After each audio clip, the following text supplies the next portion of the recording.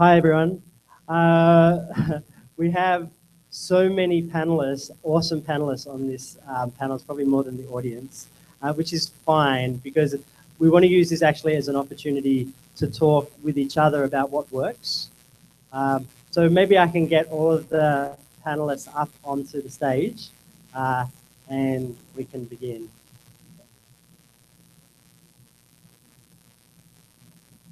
I think, I think we'll add an, another chair or two, if that's okay.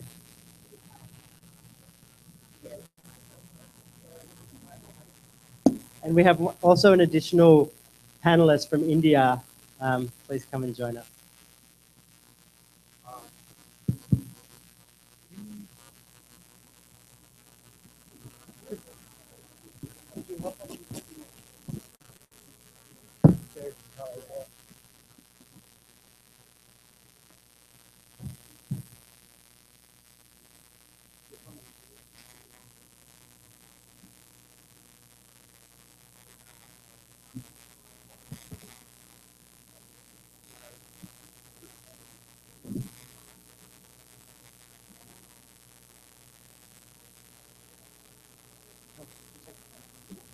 Really like it's really jam packed panel.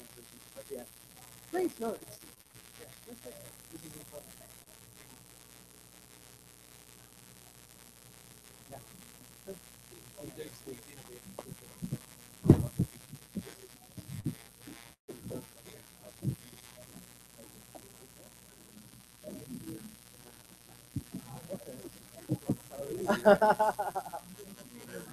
okay.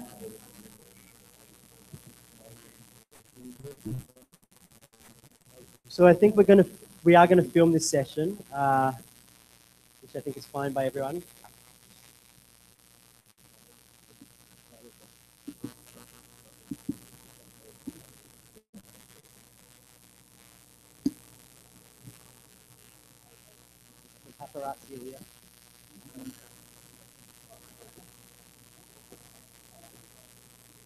Okay, so um, it's it's an absolute honor to be here with this group of people. Um, this session is called Postcards from Around the World, and literally the people on this panel are doing extraordinary things in their national um, jurisdictions, in their environments. Uh, I think what we'll just start off by doing uh, is doing a quick like literally just my name is and my country so that you get a sense of the geographical spread. And you also get a sense of like the names of the people and their identities. And maybe even if you want to speak in your in your native tongue please go ahead. Um, but um, we often talk as a digital rights community about our problems and there are many of them as we've talked about throughout the day. The focus of this session is actually trying to frame it in terms of solutions, in terms of what's working. Um, for many of us, for many of these people uh, gathered here, actually, it can be a day-to-day struggle, and it can all, and it can feel like we're we're losing. We're constantly losing the battle, and we're trying everything. Sometimes radical, sometimes conservative, sometimes I don't know, from policy papers to marches on the street to online activism to you name it, a whole range of different activities in order to ensure the defense of and the protection of digital rights. Um, but what we're trying to do is look at what's working. And I think often people here who are in often isolated in their own space, not necessarily isolated, but focused on their own space, it's also an opportunity. I would love to have this almost as a private roundtable as well, so that you guys can share. I'm just going to start off uh, after we just do a quick hello, um, we're going to go straight to India because I don't know if the message has spread through the conference sufficiently. But in the last um, decision that has been sitting with the Indian Supreme Court for the last two years, but the case has been going on for many, many years related to the, the IT Act in, in India. And the Supreme Court there just handed down an unbelievably positive decision. So we're super excited about that. Um, but let's just, yeah, which we'll hear about, so we're going to go um, straight to you. But why don't we just do a quick hello and just, yeah. Hi, uh, I'm Kaustubh. I work for an organization called Tactical Tech, and I'm from India. I'm uh, Tarek Shalaby, a revolutionary socialist from Cairo, Egypt. Gbenga Sesan Paradigm Initiative, Nigeria. Hi, I'm uh, Abir Abraham from Tunisia. I'm a spirit initiative handler from uh, Active. My name is Hoi Trinh. Uh, I represent Voice, a, uh civil society group working on Vietnam. Hello everyone, my name is Miguel. I come from Lima, Peru, and I work in Hiperderecho, a civil uh, society group working on internet rights. Hey, salam alaikum. Uh, my name is Ali and I work for ASL 19, a group that works on Iran. My name is Shagun Belwal. I'm from India and I'm representing this organization called SFLC.in, short for Software Freedom Law Center, and we work around human rights on the internet. Uh, Nighat, I'm from Pakistan and I work for Digital Rights Foundation focusing on internet freedom. So Shagun, why don't you start off? And I think this is an example of using the courts, right? So this is about the petition uh, back in 2012. Now, so the provisions of the IT Act were such that you could get arrested for three years if you send a message online which would be annoying or inconvenient to anyone. That's the language, the provision used. So this was filed in 2012, and then there's another thing that we had filed, which was um, leading to intermediary liability online. So what back then it provided for was that uh, an intermediary would be mandated to take down content on receiving a complaint from any private uh, party as well. So we were working with mouthshut.com, which is an intermediary in India. It's a so it's a review website basically. And so we challenged the intermediary liability rules. And just like he said, like in our back, uh, the Supreme Court has declared both those provisions unconstitutional and to be let down completely. So that's that's great news coming from there in terms of freedom of expression online. I mean, just to underscore, we're talking about a billion people in India, subject to, I mean, the internet population is a couple of hundred million. Talking, talking about basically offensive language could be taken uh, down, and and and and sorry, offensive. If, if you be if you have been expressing offensive language online, then you, you can be prosecuted. And there are a number of people currently detained as a result of that. And then also the intermediary li- liability issue here, which is like when is the platform responsible for the content? Both of those provisions being knocked down is incredibly significant for the hundreds of millions of internet users in India. And it's an interesting use of the court, right? We haven't, for some of us, we haven't actually um, initiated actions, but they haven't necessarily gone to the Supreme Court yet. And it can be a very, very long and involved process. Um, is anyone else here using the courts in terms of? There. So we we when surveillance became mass surveillance became an issue in Nigeria in April uh, 2013, what we did was to start by writing a freedom of information you know request uh, to government to basically say uh, because the government wasn't acknowledging that they were doing this, uh, it was an investigative report and they were not going to accept that they were doing it. And so we sent that, and our case was struck out of the court because the judge used this phrase, uh, used this word that we're busybodies, and we had no, you know, right to ask questions. But we went back to court, and I think the the success from that story is number one, the judge was petitioned. Uh, so this was a judge who clearly uh, was against freedom of expression and was leaning towards security and government, and he was petitioned. And the good thing is that the, the cases that you know, he was involved with after that had a more neutral position because he was very careful because the Judicial Council did that. And the second thing is that because we're spending so we we had about two years when we were told to wait, and like you said, it's a very very long process. So now we're back in court, and a decision has not been made. In fact, we don't think a decision will be made very soon because we're you know we have elections this 11 and so after that maybe we'll get a date in court but what that has done is it's put us in a new position that instead of asking the question or saying don't do this don't do that we don't like this all the time we can actually be proactive and decide what we want to do so yes we don't want mass surveillance but what exactly do we want uh, and that led to the work that we're doing now on the digital rights and freedom bill for Nigeria.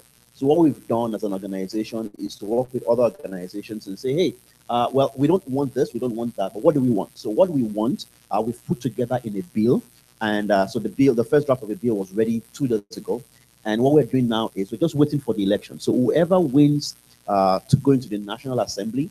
We'll approach them and we're basically saying to them, guess what? You don't have to do any work.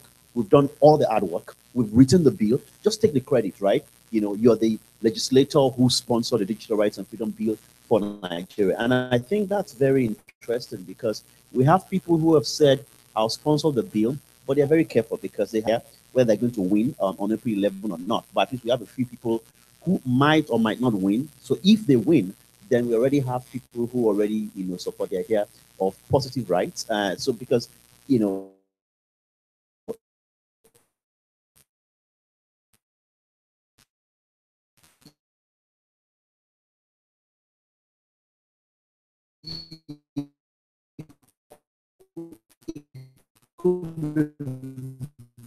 very, very, it's great when you have a decision like that, but it can be frustrating when you're told you're busybody and you're told your case is going to happen in two years. It's exciting when we have a chance to be able to into a bill once it's already been passed and seeing prosecutions, etc.? Or do we also have the opportunity to create the bill? Right? And I'm really excited to hear that there's this like proactive step that civil society is taking, not only like lobbying legislators, but actually writing model legislation, uh, which is a great, a great thing. I think in the US, um, where we've been doing quite a lot of work as Access, we've also been seeing the development of these new cyber bills, information track, and trying to work within the committee and in the legislative process to ensure that the laws that are passed create an environment in which our digital rights are protected. Nighat, did you want to jump in on any of that? Yeah, um, as you mentioned about drafting uh, legislation related to cybercrime, Pakistan government uh, has been working on a cybercrime legislation and uh, they with the draft uh, year ago, which was uh, like really draconian. And civil society uh, rights, they collaborated with international organizations like Article 19 and Privacy International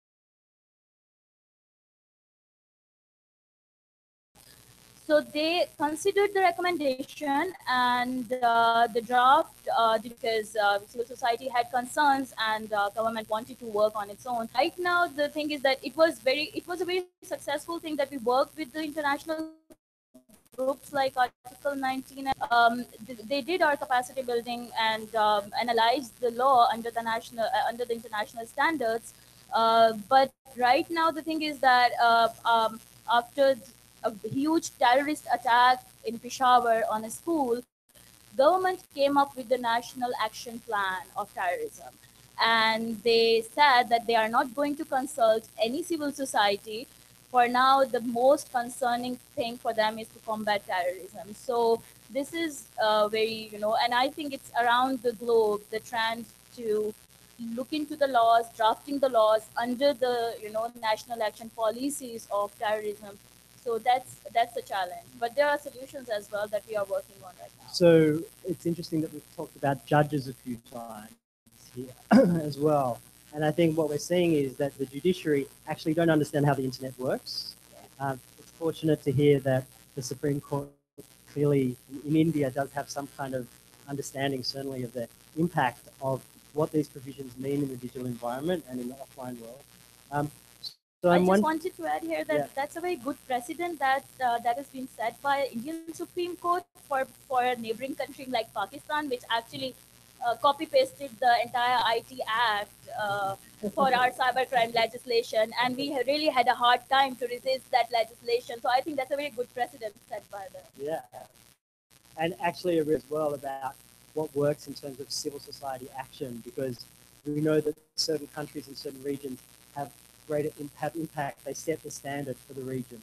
And we've seen in the European context that, um, you know, the, the data protection, the data retention standards have been copied and pasted throughout Africa, for instance. So we can, you know, if we can have an impact in one jurisdiction, it can influence another jurisdiction. I'm interested in this question about judiciary. Is anyone else, is anyone working on like judicial education? Anyone in the audience or on the panel? Really important um, process that we can undergo because to understand and to interpret legislation, it depends on the prosecution and the defense as to what's before them. Often these judges are old and they need to understand what the rule of law looks like uh, in, in the online world, how to have digital due process. Yeah? Yeah, so I just wanted to add that uh, YouTube is blocked in Pakistan for the last three years because of the anti-Islamic content. So this took this case before the petition. Uh, it said that the petition didn't go anywhere, but uh, one of the civil society member, uh, she she is working on the canon policy. She became the amicus to the judge, and she am a lot in terms of understanding, you know, uh, cyber issues around the world and also uh, the international standards around cyber laws. So that's really helpful. If civil society and the activists who are actually, you know, know about the subject and also, you know, reach out to ju- judiciary to, you know, do the capacity building, that's another, you know, option as well. Yeah i'm going to bring in Abir here because I think many of us are working in different environments, um, some pre-revolution and some post-revolution as well. Abir, you're from Tunisia. Um, maybe you can just give us a bit of a sense of like how things might have changed since the revolution and how uh, activists are operating in a different space or not, or how legislators are working in a different space with respect to digital rights. Uh, okay, uh, so it's about uh, four years ago, uh, Tunisia um, illegal revolution. We ousted a dictatorship, dictator, uh, under the regime of the former president Ben Ali. Ben Ali, we experienced um, a mass of internet censorship by the government, and uh, unfortunately, it was done secretly. Uh, the government blocked a lot of uh, websites like uh, Facebook, Dailymotion, YouTube, etc. And I was, uh, I personally, I was affected by, by this censorship when I was uh, working as a web, a web developer by trying to, uh, uh, I wasn't, I couldn't use uh, like um, basic functionality by answering YouTube links or watch or watch tutorials, and it was really frustrating. Uh, also, uh, uh, censorship cases. In Tunisia, we created a nickname for uh, the authority uh, responsible for the censorship uh, called uh, Ammar uh, 400 and a reference for uh, the censored website error message. So, uh, like, um, uh, also uh, as a web developer, like, so just I want to talk. I want to talk about um, uh, the ATA uh, agent, uh, which is uh, like uh, the Tunisian internet agents, who is uh, mission to promote promote the internet in the country, but it was involved to steal credentials by inserting hidden JavaScript page. And as I tried to open code source of those noticed that its code was really altered. And here it was a sign of uh, digital dictator. Uh, also, the government um, uh, used uh, like specialized and spying agents to uh, tap phones and to uh, make deep packet uh, inspection and even to alter some emails. Like, uh, and it was done with no uh, uh, with no discrimination, like randomly. And after the revolution, hopefully the internet censorship decreases uh, significantly. Like because the interim government removed the filters uh, from uh, Twitter and Facebook network uh, uh, networking uh, websites. Um, and that uh, and like after that uh, we have got we have it an open internet uh, when that uh, allow it to uh, flourishing um, uh, creativity and innovation. Uh, but Can I at the same time Sorry, last, last notice in the same time uh, after the revolution um, the government create a new entity called ATT uh, technical uh, telecommunication agency uh, and the pretext to uh, counter terrorism but there is a lot of worries about the real role of this entity and uh, we hope not that the government trying to uh, grip uh, uh, grip a um, like uh, like try to uh, make surveillance for the political dissent and the civil society communities. Yeah. So um, thanks a lot for that because we're also going to hear from Tarek as well, who's from Egypt. Um, many people say that the Tunisian story is kind of like the, suc- the success story of the Arab Spring. Um, and when we talk about what works, is it the revolution? I mean, like we talk about like incremental change, but actually what happened in 2011 was an overthrowing of the government, a throwing out of the, the Era 404 regime, um, the establishment of a new constitution and a political process. But maybe depressingly, we start to see the weeds kind of growing again and the creation of this new surveillance entity within Tunisia. Let's jump to Tarek and hear from you about, in the context of where we are, and Alaa, the story from this morning, and other colleagues in prison, like the concerns and the problems of the Arab Spring, maybe what's happened there, but maybe some green shoots as well, some process that might be positive, and what has worked either through that initial process or now. It's a lot easier to talk about what hasn't worked for the Arab, Arab Spring, I think. And uh, that's pretty much about everything we tried to do hasn't worked. Um, obviously, we were very inspired, very inspired by the by the Tunisians. We celebrated their independence like it was ours, and it was it was uh, it was incredible. And it was very interesting that leading up to the revolution, the president's son, uh, who was obviously uh, Mubarak's son, who was one of the leading figures in the leading National Democratic Party, uh, he had a press conference once, and and someone from his audience, basically one of his guards, was saying, uh, "What are you going to do about the young kids on Facebook and these people, these young revolutionary movements?" And then he laughed it off, and the whole room was laughing for for a few minutes. And then, you know, a few months later, it was those youth who supposedly brought down the regime. Not that that really has happened, but that's what the intention was. And I think it was an indication of how uh, the regime uh, did not see the, the um, this inter- internet as part of the of its open policies, open economic policies for the international community to come to and exploit Egypt. Part of it was to build internet uh, infrastructure, and they didn't see that uh, the the um, the threat in giving a voice to the people to be able to communicate that way. Uh, that's not to say that the social media is what made revolution in Egypt or the Arab Spring, like a lot of people were saying.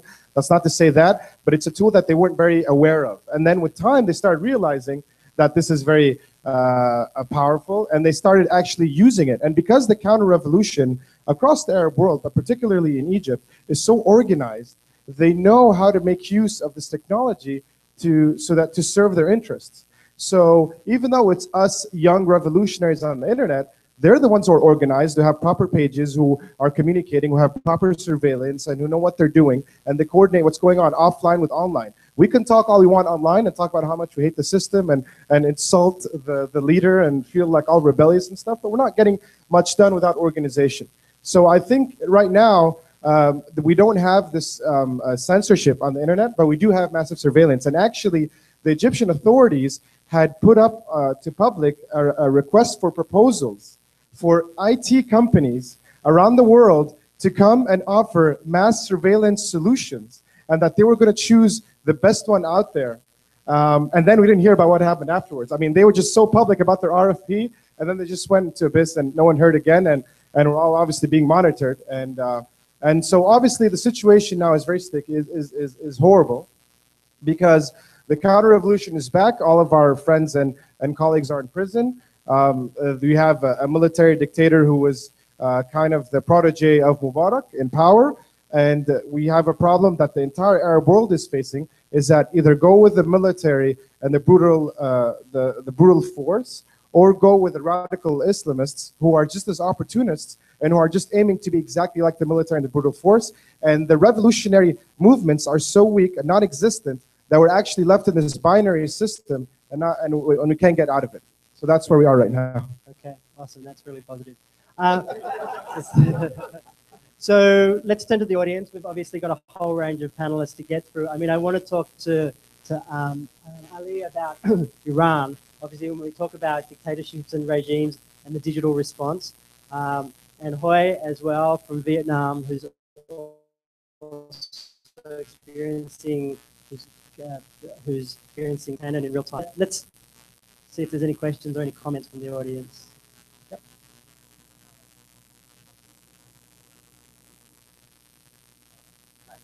Uh, just I had just one small comment to add with uh, regards to the judiciary in Egypt and talking about um, education. Um, I'm sure Tarek will agree that uh, it's just not possible to educate the judges because they are, um, you know, uh, elitist and they do not accept any anyone telling them anything in Egypt. So basically, if you want to teach a judge about the internet and what it really does, just, you're gonna you're just gonna be thrown out. So that possibility isn't uh, there, I think maybe Tarek can expand.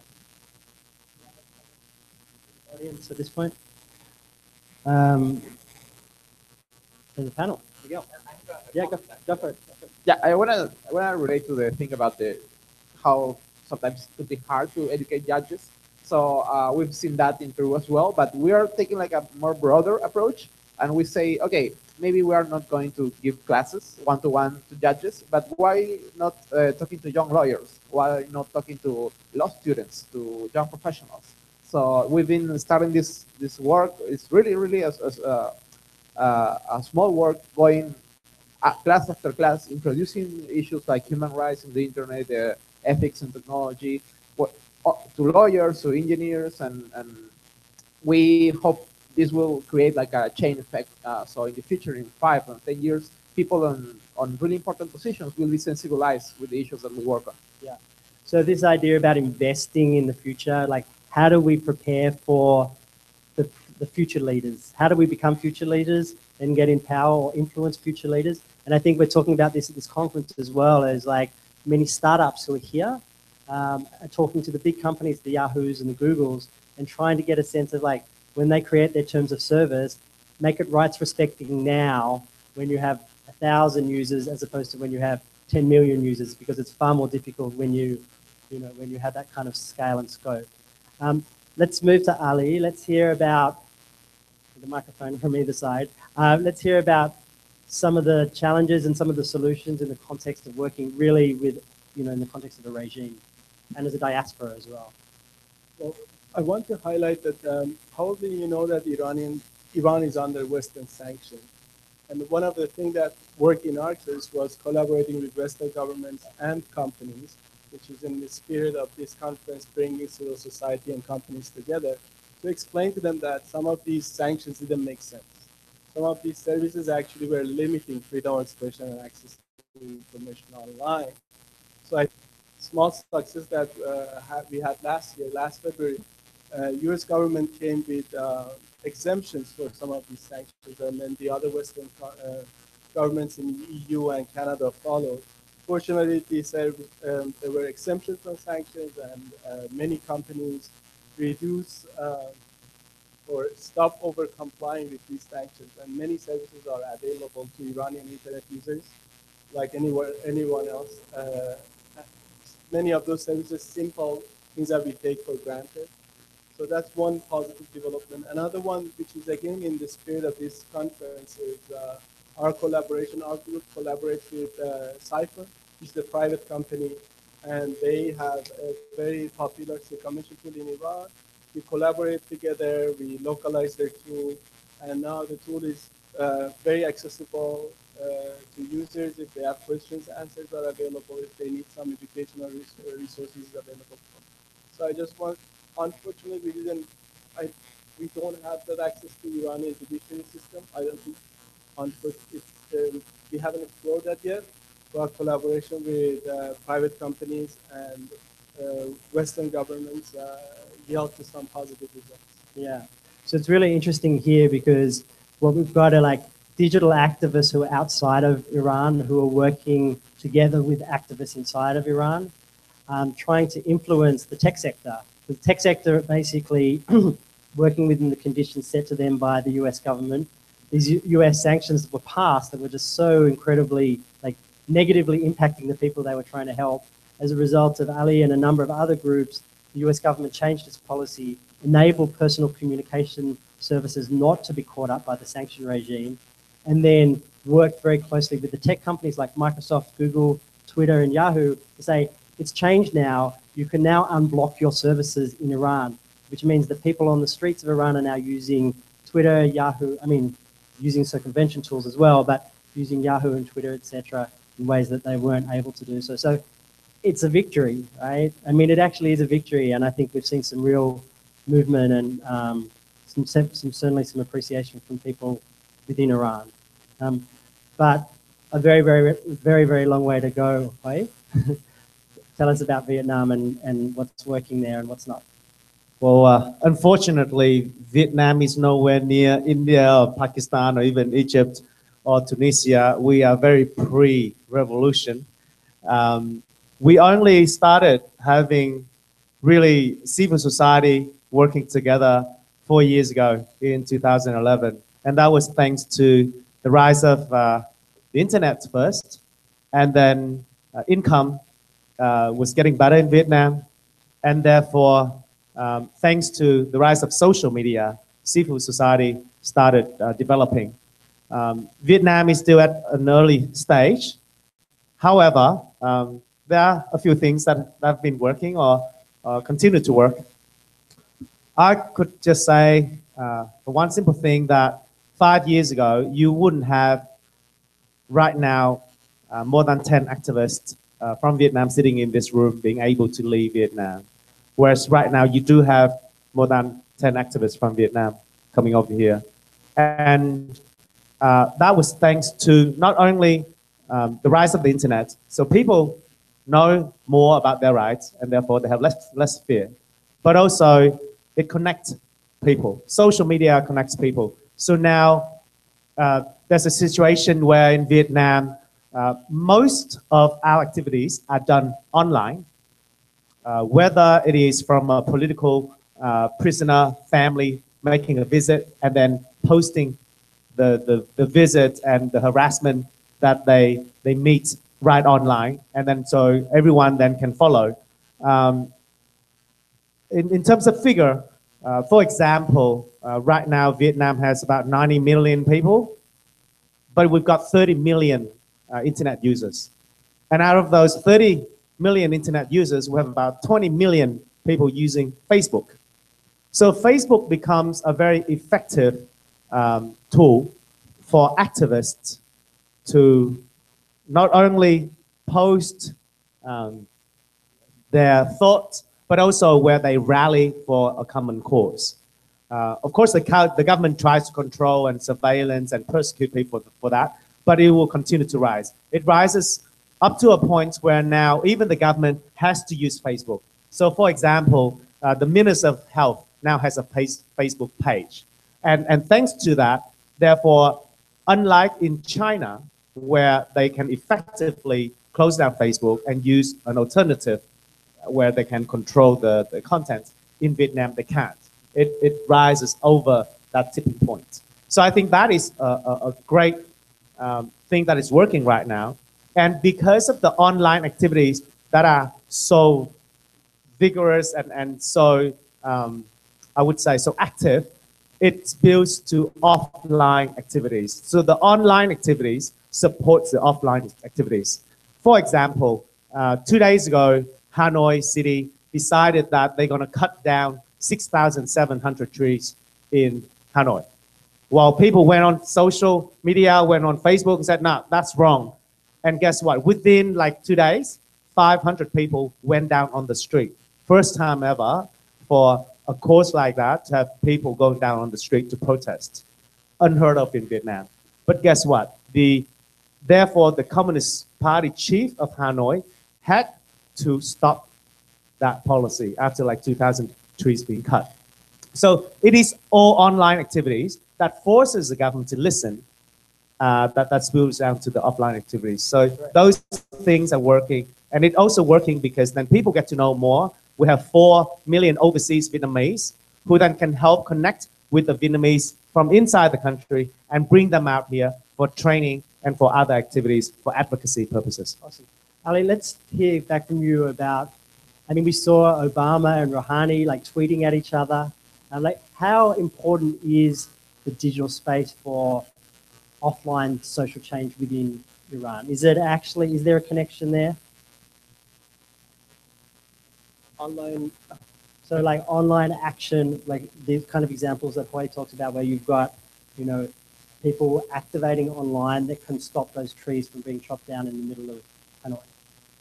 I think the best example is probably 2009 contested election that the Iranians used, like uh, Vietnamese and like uh, Egyptians and Tunisians. They used social media to mobilize and uh, to organize themselves and uh, spilled over from online to, to the streets. But uh, I think when the offline space became very violent and also the online space, the, the authorities were also smart in a way of using that space to identify people.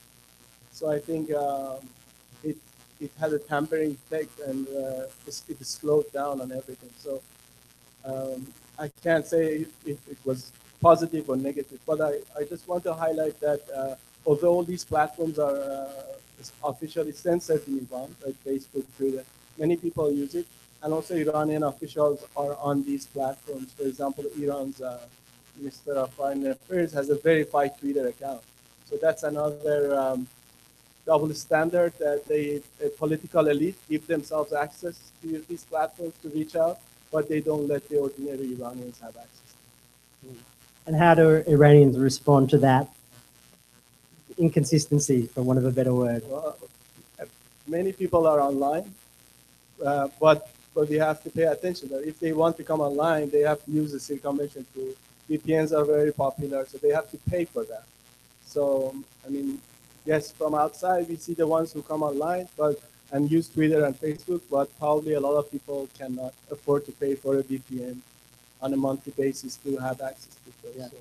So, Kaustubh, a lot of the work that you do is actually connected to this. Is like, how do people get online and how do they get online safely? Tell us about that. Yeah. So. Well, Thanks for being patient as well. Uh, yeah, so I just uh, just to give a little bit of uh, background about something that happened in India recently. Um, um, in December last year, uh, the Ministry of Communications and IT in India passed, uh, uh, well, actually issued a secret order to every single internet service licensee in the country and asked them to block 31 URLs, and some of them uh, were popular websites such as uh, GitHub.com, uh, Vimeo.com, Dailymotion, Pastebin. Um, and uh, this was issued after a police complaint that uh, said that these platforms were, were being used to incite terrorism uh, in the country. Um, talk about, uh, yeah, so it, uh, there's a lot of uh, campaigning going on to try and change legislation. Today we are all really celebrating because uh, uh, because of the 66A, especially the Section 66A of the Indian IT Act being uh, struck down by the Supreme Court. I can give you a little bit of background about what that is, and after what Shravan said Yeah, in a minute. But uh, um, I think what's important is that uh, there is really very little transparency in terms of how technical uh, how censorship is being uh, uh, implemented or conducted. And something that we did after the blocking in December is uh, did a lot of technical analysis in India and published uh, a lot of these censorship reports.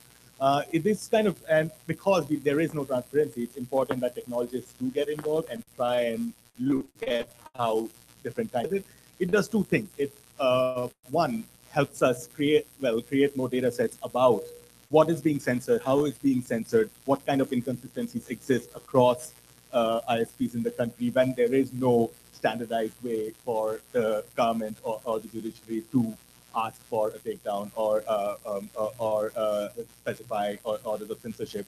Um, so it's important to try and collect this data, but also as tool developers, it helps us uh, make circumvention tools better, actually understand what kind of technical censorship is being implemented and how can we actually get around it. Um, there are some amazing tools which basically will let you bypass pretty much uh, any sort of censorship. Of course, a really good, ex- uh, the best example for that is probably uh, Tor, uh, uh, and uh, it. Uh, and we found when we were uh, when we were uh, testing in India that there was nothing that Tor couldn't circumvent. So, um, but also there's various different uh, kinds of uh, filtering that's applied on circumvention tools, which uh, and just being able to generate more of this technical data helps us. Uh, these Can I just better. check who here uses Tor?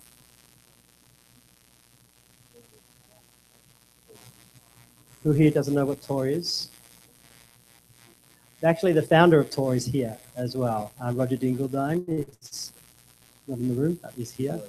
Uh, but essentially, it's a circumvention and anonymity tool that enables you to browse the internet um, to communicate online without being identified, um, and it also enables you to jump the firewall. Um, so, so I mean, uh, Abir, I think you you on the digital security helpline, you're recommending Tor as a tool for people to use. Yes. Uh, also, um, in Tunisia, since a lot of uh, websites was censored, like we used uh, VPN and uh, Tor to um, to open those those um, websites, and also for the moment we try to uh, uh, recommend those tools, uh, especially for uh, at-risk individuals, and especially uh, for uh, we are living an, an, an insecure communication and um, we need to raise awareness about uh, all those um, yes, digital security tools. Um, let's jump back to India because I want to hear more about the case uh, and see whether we can take some lessons from it. Yes. So You go first and then. Okay, So, so, uh, so yeah, today's landmark judgment. It's, it's making us really happy because some one of the sections of the IT Act that was struck down is a provision called 66A. In the face of it, this specific provision has existed to prevent innocent users from online harassment. Um, it is also extremely vaguely worded. It, you, uh, it, it basically says things like anything that is offensive, illegal, men, uh, menacing character, or grossly offensive annoying. Yeah, so all kinds of these really vague terms, which mean, um, basically, yeah, uh, anyone can go, hey, this hurts me because it's annoying me, or this is uh, uh, this is offensive to me, and and file a file a complaint, and and this is not just content being taken down, but leads to detainment and arrests.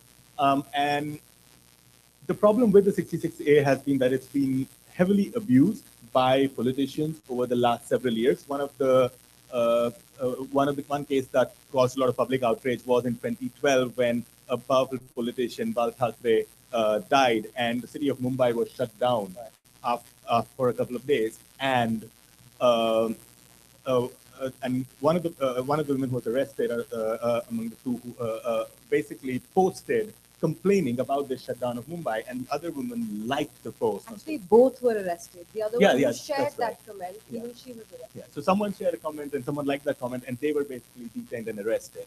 Uh, and that's not the first time the 66A has been uh, abused by uh, uh, powerful politicians. Um, and obviously it's uh, it's been misused, and that's the reason that this, the Supreme Court today uh, has decided to strike it down. But also, it's it, it has curtailed freedom of expression and in and, and has been used as a as something to intimidate people from being able to express themselves freely on the internet. So it is actually a big landmark judgment. I am not opposed to the idea of laws that prevent people from being harassed, but uh, this definitely was not a solution, and this, we've seen it. Uh, we've seen that it hasn't been for years, and um, it's yeah, it's amazing what's happening. And when we talk about abuse, the most of most abuse that we actually saw was coming from the political side. There were a lot of people being arrested for having said things or posting cartoons, you know, satire basically against politicians, and the next thing you know, they're arrested. So that's where we saw most of the misuse of CCTV. And as far as the intermediaries are concerned, uh, so we have intermediaries. The one that I was talking about, the petition that was filed. So they are at present basically uh, fighting court cases throughout India, you know, because everyone is suing them for some sort of, and it's mostly defamation content, and they're being sued all over. So hopefully this something possible. Great. Let's throw to the audience. Questions, comments? Yep. Use the mic. You can check to see if that one works.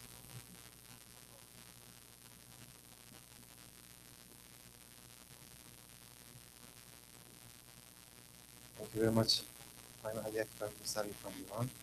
And I'm Iranian, based in the United States. My, I have a comment uh, on uh, Ali's uh, speech about Iran, about the sanctions. Uh, fortunately, we got the general license D1 last year. And now we are in this stage that we are trying to share our experience with other communities. At first, we reached out to Sudanese, then Cuban.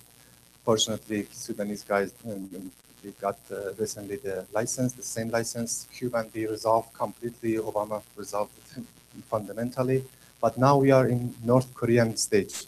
I would like to ask uh, this community if anybody knows this uh, community, we should talk to them and share the experiences that um, they can exempt uh, ICT stuff from sanctions, US sanctions that suffering the citizens.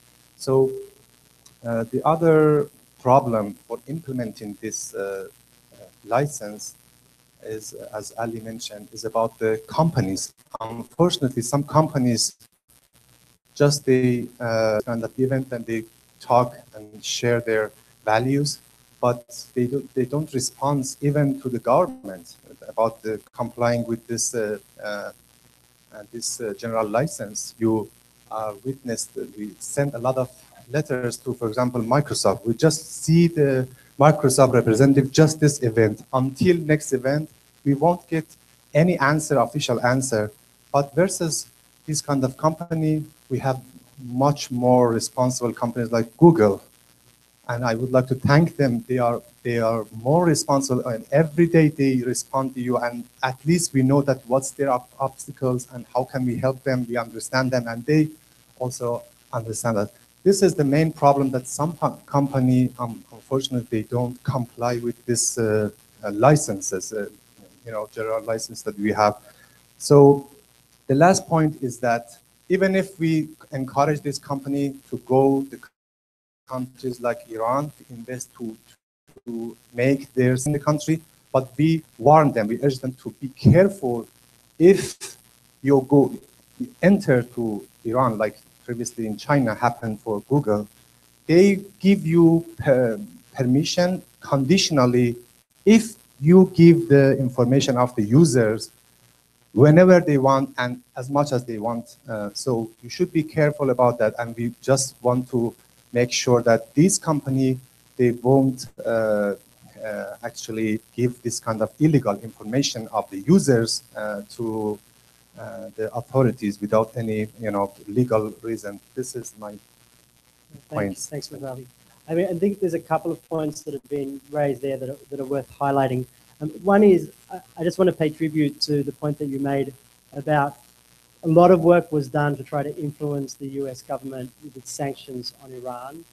The general license was issued, and then the Iranian community helped to influence the US policy with respect to Sudan. And the Sudan community was successful and helped to lobby the US government on Cuba. And I think that kind of inter-group solidarity can be a really effective tool. Um, Ali, do you want to jump in on any of that? Yeah. Okay.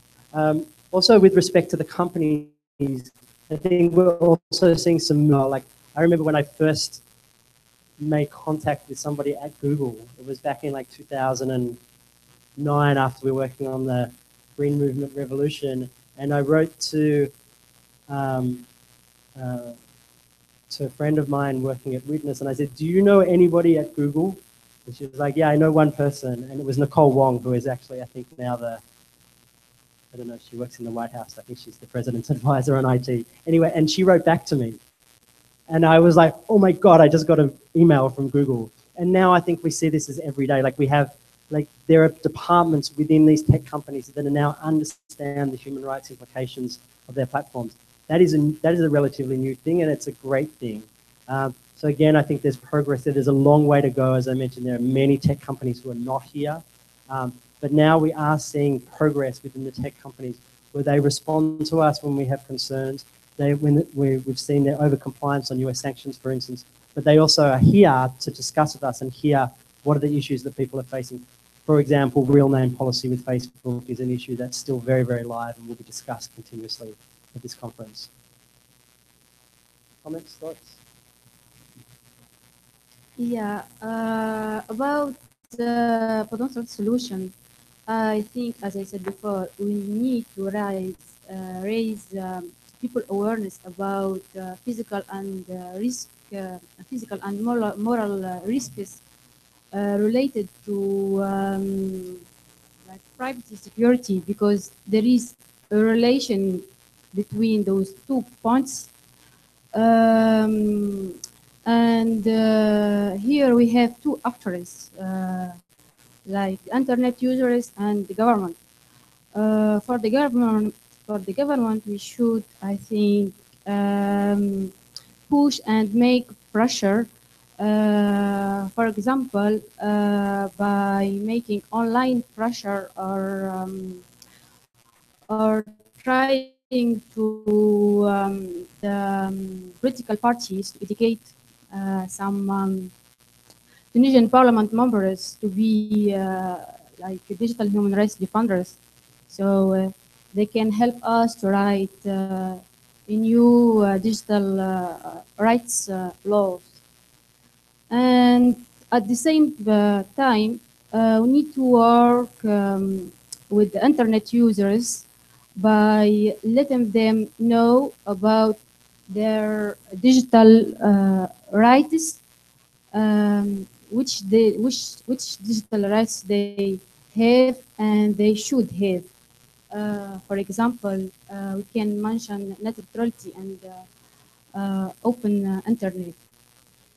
Uh, also, I think we should let people know how to use their devices with a secure way and how can how they can uh, be anonymous on the internet and uh, encrypt their uh, communication because here there is like a mass of internet surveillance and we need to counter that. Thanks very much.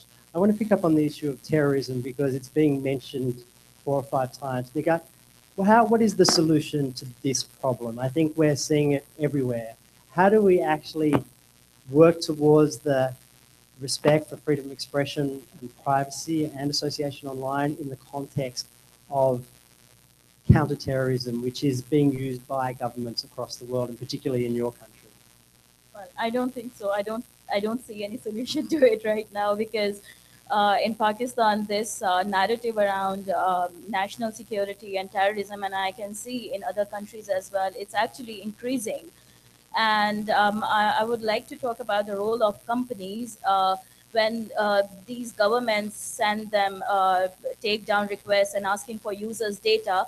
They actually um, uh, cite national security and anti-terrorism uh, policies. And these companies, most of the companies comply to them but i think uh, the only solution i see is to interact more with these companies. And i think these are the uh, RightsCon and the other conferences. These are the spaces where digital rights activists and organizations working on internet freedom i mean they can interact with them and tell them that what actually they mean by law and national security and terrorism. And most of the time they say that it's a blasphemous content. And in pakistan we have seen that on facebook lot lot of pages were removed by the company because it was the political content and by the uh, political activists and descendants so i think it's it's really important to interact with these companies and the you know, you know their policy teams that what actually government mean when they cite these laws and uh, but it's a growing and increasing narrative which is like um, we feel really hard to challenge Yeah, I just want to add add to that. In Egypt in the 90s, uh, the word terrorism uh, was very widespread and was used by the media a lot. And obviously, back in the 90s, we still didn't have internet, and uh, regular landline TV, which everyone got, had the same rhetoric, and it was very controlled and very centralized. Uh, now, after the revolution, after the Muslim Brotherhood were ousted by a military coup, and they're all thrown in uh, prison, uh, this terminology is back again, and a lot of Egyptians are sucking it up, and it's true. However, I think uh, we the authorities will never serve us. We will never get to the point where they're going to do us a favor. They're, if, we, if we want our rights, we're going to be doing pressuring them, and they're going to be doing it uh, in, despite the fact that they don't want to do it. Now, I think the best way to get rid of that, obviously, is to to um, uh, empty this word of meaning so that it no longer has any meaning for the people. So when they say terrorism, it's like, oh, well, it's, it's bullshit. It's what they're saying all the time. It doesn't mean anything. So in, in, in that sense, what we're trying to do here is you're trying to reach out to the people and to say, hey, you have the military who is uh, throwing everyone in prison, is cracking down, they're raising prices, they're controlling the economy and the ministries. We have no freedom whatsoever. And then you have the Islamists who are just like them, they just have beards, right? And those are the two groups they have available. How about this? I'm talking about minimum wage, about uh, progressive taxation on the rich, about services and help for the poor. And these are the things I want to talk about. Now, I don't care about terrorism or what have you. These are the things I, I want your everyday life to be better. Now, the, the thing is, we can't get access to TV. It's very controlled by a small group of businessmen. We can't get access to the radio, which is controlled by the government and by, by the army. You can't get access to the billboards, which is controlled by millionaires who are siding with the military for obvious reasons. However, and I hate to sound like Orientalist, but the, the social media is a, a, a platform uh, like Facebook, at least in Egypt, is a platform that we can use. We have 25 million users in Egypt on Facebook. The next, pre- next president of Egypt can have his, his or her campaign, his or her, as if uh, her is a possibility, campaign on Facebook, and he or she can win the elections purely by Facebook campaigns. Now, what I'm trying to say is, we've lost the, the struggle to control or to reach out via any sort of media. However, alternative media, basically Facebook in Egypt, is the one tool that we can use. And in order to use that, we obviously need to work together because the counter revolution is using it just, just as much. All the ministries have Facebook pages, all the army, the president, everyone, they all have Facebook pages and they're very active with it. Uh, we as political uh, political groups and as activists and, and youth and revolutionaries need to be using that to reach out to the people and say, hey, you know, the hell with the Islamists, the hell with, with, with, the, with the army, let's talk about your rights. Let's talk about moving forward with this. Thanks. And it's interesting, you, you kind of sound like a cyber, cyber utopian in a way. It's like that the solution to all of these issues in the context of the radio, the print, and the television being controlled is Facebook. Right? And the Facebook guys are here, but we've also talked about the context that Facebook's a private company which you know responsible to its shareholders after an IPO. And like, so how do you reconcile that as as a revolutionary socialist? I, I never thought you would ask. That's a good question.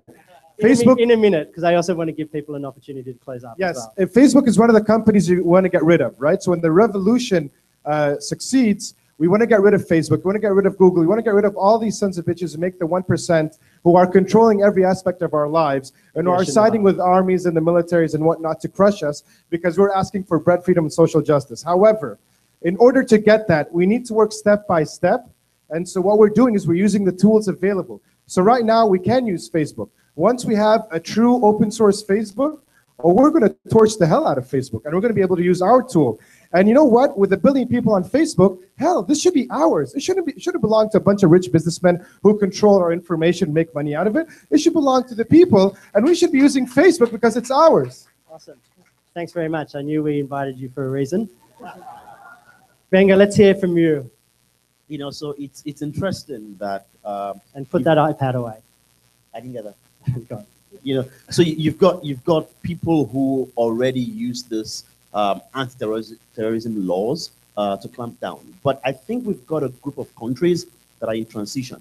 Uh, that's about the place where Nigeria is, where we don't, now we have an anti-terrorism law, but it's about now that government is using the excuse of, and it's always excuses. It's not because government wants to make the country safe and secure. It's just the excuse that yes, there's terrorism, there's Boko Haram in the north, uh, so let's let's do the things we want to do. So we've got a chance. Um, the good thing is we knew they were coming, and so we we we made sure we were in the room when the conversation was happening. And every time we were at the National Assembly and the conversation went towards terrorism, we also talked about rights. And one thing that was helpful was that when the conversation was always about terrorism, they thought as government people who would always be there. When you pointed out to them that if you start mass surveillance today, when you're no longer the president or when you're no longer a politician, you will be a subject of surveillance, you should see the reaction on their faces because they literally go like, wow, is, is that going to happen? And that has been a, been a bit helpful in having the conversation. So for, for countries in transition, I think this is the time not to allow anyone to blackmail you emotionally. Because the thing was always that when you had any conversation, people ask me questions like, are you in support of terrorists?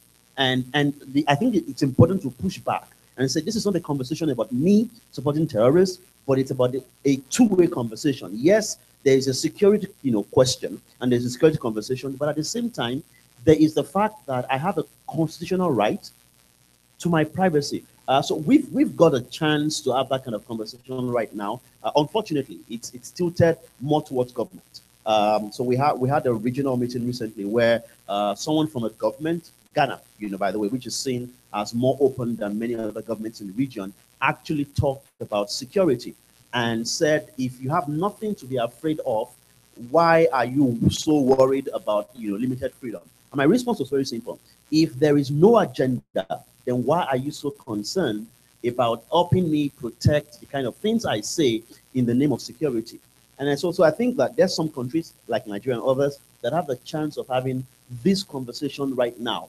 But reality is the conversation between security and rights and freedom is not balanced. In fact, what we need to do is to have a lot more conversation around rights and freedoms to even have anything close to a balance in this you know, mm. kind of two-way conversation. Mm. I mean, I mentioned this before in the government's meeting that happened earlier today, is that in many governments, the decisions are still being made. Like we think about, I mean, in some governments, it's, it's, it is kind of monolithic, perhaps in, in Vietnam and Iran, but there's still like progressives, there's still moderates, even in actually in Iran and Vietnam. So decisions are being made, and then there are also distinctions between like agencies as well. So sometimes we've been in meetings where we sit with the the person who's responsible for human rights and the person who's responsible for cyber. And those two people often have never met each other. But it's often the person who's the cyber guy, who's like, and is generally a man, who's like got all the arguments and got all the statistics and is able to like, like basically obliterate the human rights person or the human rights advocate. Often it's a debate within government as to get getting before they get to that policy. I really take your point about transitional states or transition, like we are at a moment of transition. Uh, there are norms that are being built right now in all of our countries. Uh, even in Australia, where I'm from, we're seeing government, the government making decisions on data retention, which are absolutely like crazy.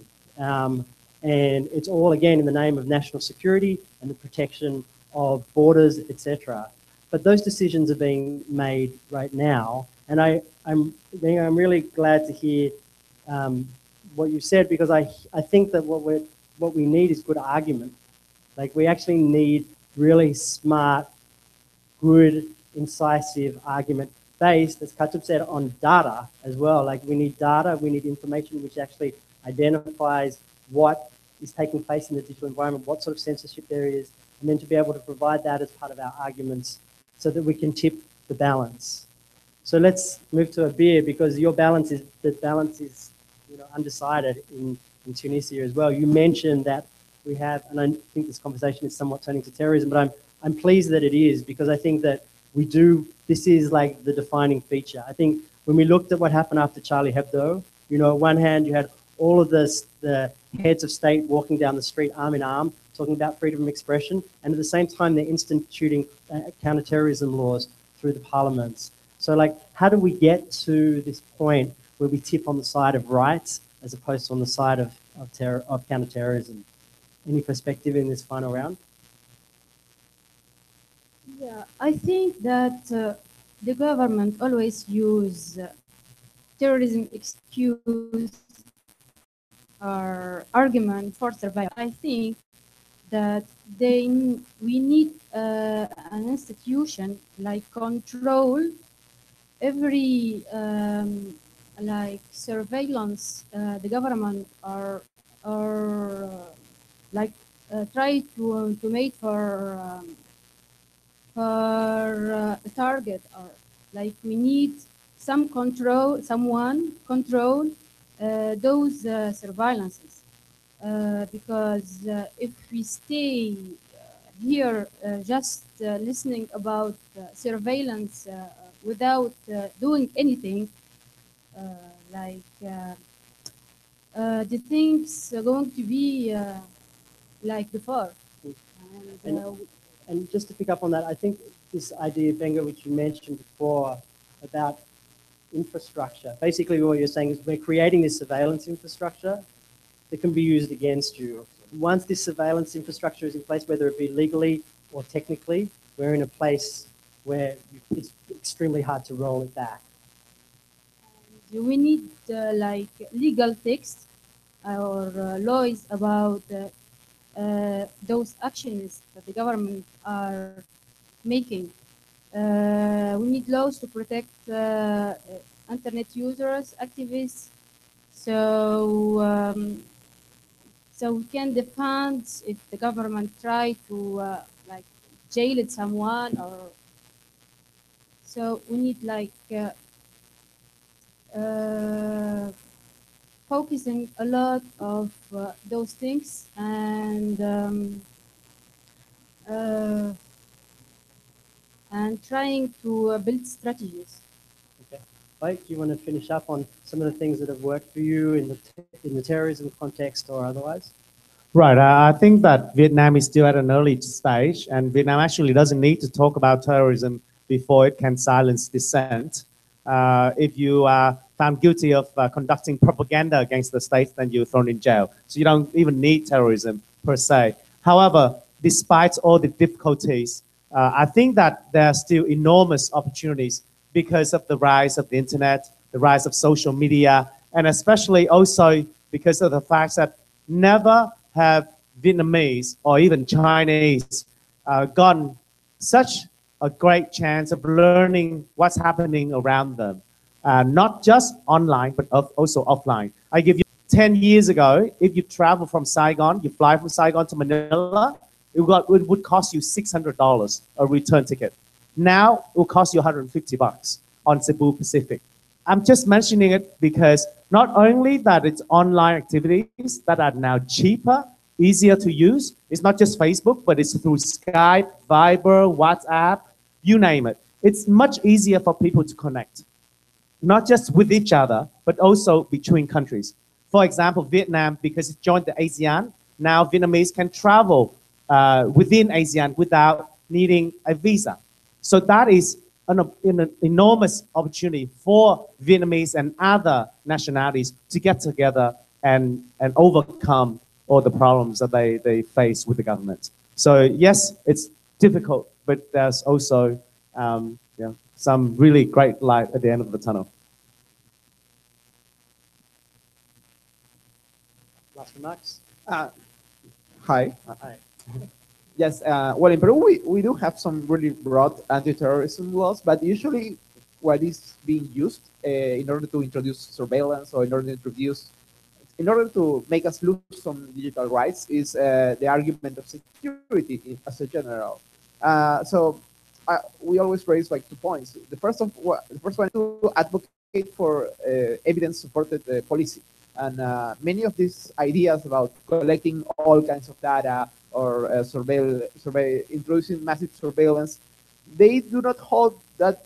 They do not have like case studies where they've been able to prove effective against you know uh, security incidents. Uh, and on the other hand, you, you need to be able to have a well-educated public that is aware of what it is that they are losing when they are do, doing this trade-off against losing uh, their privacy against uh, getting more security. There are there, there may be some some particular cases where that trade-off is, is valid, but as a general point of view, if people if they are able to understand what they are about to lose, they should they should be much more resistant to this kind of policies. On the tension between uh, national security and individual security or individual rights, I want to encourage everyone to collaborate with David Kaye, uh, UN Special Rapporteur on uh, freedom of expression.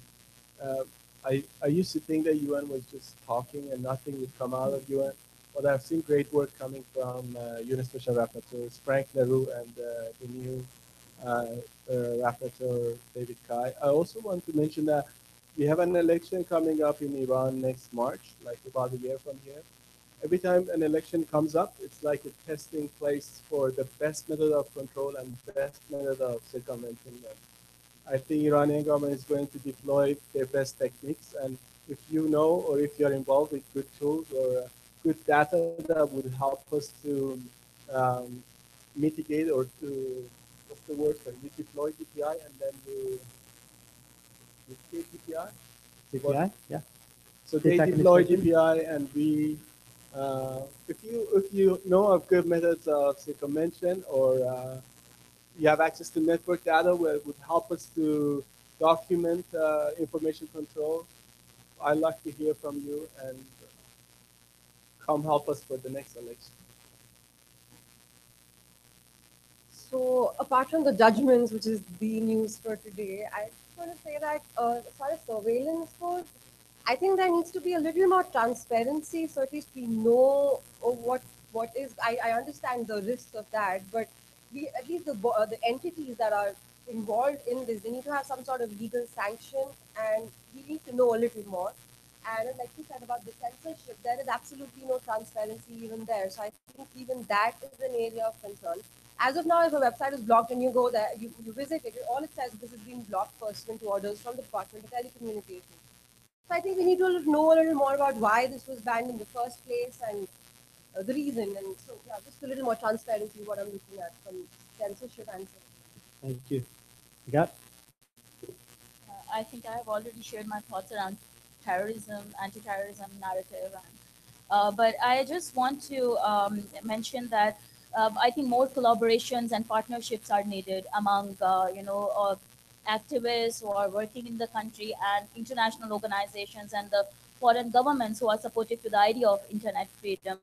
So more collaborations, more partnerships, and that's much needed and to bridge the gap. You Yeah. know. Thank you. I mean, I've just been scribbling down a couple of things here along the way. I know we've had a very wide-ranging conversation on, on a number of different issues, but here's some of the things we've come up with. So, pressure, uh, sorry, international pressure and collaboration, um, transparency of surveillance and censorship, using the UN system, including the special rapporteur, um, educating the public about their digital rights, uh, regulation and good laws, the creation of them, challenging them when they're bad, using the courts, um, digital rights awareness, um, freedom of information acts, judicial education, uh, writing policy ourselves and creating good legislation which we can provide to talking to young lawyers and, and young professionals, including the startup community, using Facebook, if you believe in it, uh, using Facebook and other online tools for activism, engaging the diaspora, technical analysis and exposing processes and data collection for tools, creating good arguments that you can use in, in uh, lobbying and advocacy, um, and engagement, deep engagement with the tech companies. So on the basis of all of those strategies, let's use them going forward and let's have a round of applause for the panel.